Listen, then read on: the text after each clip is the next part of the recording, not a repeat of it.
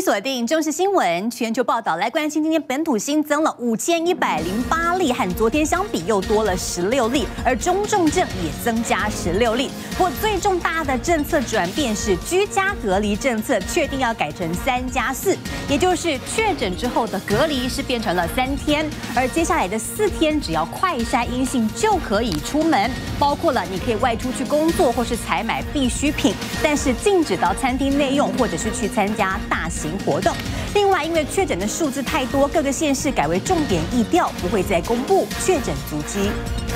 二十五号本土确诊新增五千一百零八例，截至二十四号最新居隔人数已经达到八点七万人。下午指挥中心延后四小时才举行，因为指挥中心光速通过居家隔离天数从十加七天一下子放宽为三加四。明天开始，所有的居隔的天数就以三加四，居隔中的四月二十七号已经超过的就开始来居隔形式三加四天，居隔者一到三天一样在家隔离，若第四天快筛阴性就可以出门，并且每天快筛。后四天才自主防疫，除了不能参加大型活动、不能到餐厅内用，以及避免到人潮拥挤场所，其他都可以正常生活。外出工作、采买必需品，只有全程必须佩戴口罩，其他几乎与正常人无异。但不能上课。但有专家认为，这一下子放得太宽了。疫情还在上升段，这个时候用这个措施，可能会增加这个社区感染的风险。专家黄高斌也认为，一下子放宽成三加四太凶猛了，建议缩短为七天，观察两天后再缩短成五天。一下子从十天降到三加四，民众可能会觉得说，为什么会变化这么大？居隔放宽三加四，行政院在二十四号晚上才拍板确认方向，二十五号上午指挥中心就与各县市开会，下午再进行专家会议，再由各地方政府确认后，一天内就光速定案。这个政府它只有一直放，一直放，一直放，一直扩，一直扩，一直扩。专家林世璧也认为，居隔三天有点太冲了，现阶段五天或七天比较合适。到底要切在三天、五天？